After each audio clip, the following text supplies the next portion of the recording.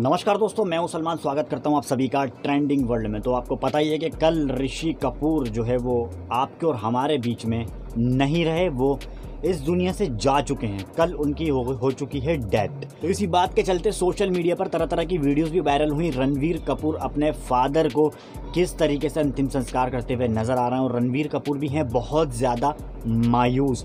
हालाँकि यहाँ पर बॉलीवुड के अंदर एक के बाद एक झटका लगने के बाद पूरे बॉलीवुड में सन्नाटा छाया हुआ है। कोई भी यहाँ पर खुशियाँ नहीं मना पा रहा है बॉलीवुड के अंदर इंडस्ट्री में बॉलीवुड के।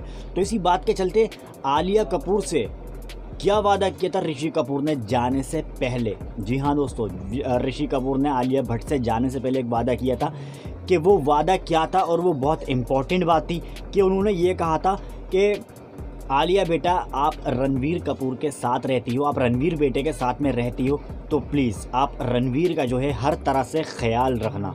जी हाँ इस तरीके से ऋषि कपूर ने जो है वो आलिया भट्ट से अंतिम टाइम पर ऐसा बोला और तकरीबन ये चार या पाँच दिन पहले की ही बात होगी जब ऋषि कपूर ने कह दिया था, क्योंकि जब एक इंसान को एक इंसान जब मरने वाला होता है तो हल्की फुल्की सी आहट सी पहले ही हो जाती है कि हाँ बस अब मैं इस दुनिया में नहीं रह सकता, अब जो है वो मेरा अंतिम यहाँ पर टाइम चल रहा है। तो इसी बात के चलते आलिया भट्ट जो है वो देखने भी गई थी हॉस्पिटल में ऋषि कपूर को, रणवीर कपूर के साथ में और उसी दौरान पर ये बातें बोली गई। ऋषि कपूर ने आलिया के सर पर हाथ रख के यही सब बोला था कि आप बेटे का ख्याल रखना, रणवीर बेटे का कि इसको किसी भी तरह की कोई भी प्रॉब्लम ना आए। तो इस तरीके से मूवमेंट था ऋषि कपूर का जाने से पहले और किस तरह से ऋषि कपूर ने आलिया को अपनी बहू मतलब स्वीकार किया हु, किया हुआ था और जितने भी रणवीर के फैमिली मेंबर्स हैं, उनकी उनकी मॉम है, उनकी बहन है, वो सब आलिया को अपने इस घर का हिस्सा मानती हैं, रणवीर कपूर की जो सिस्टर्स हैं। तो ये एक अच्छा मूवमेंट है और आलिया को किस तरीके से ज़िम्मेदारी सौंप कर गए हैं ऋषि कपूर।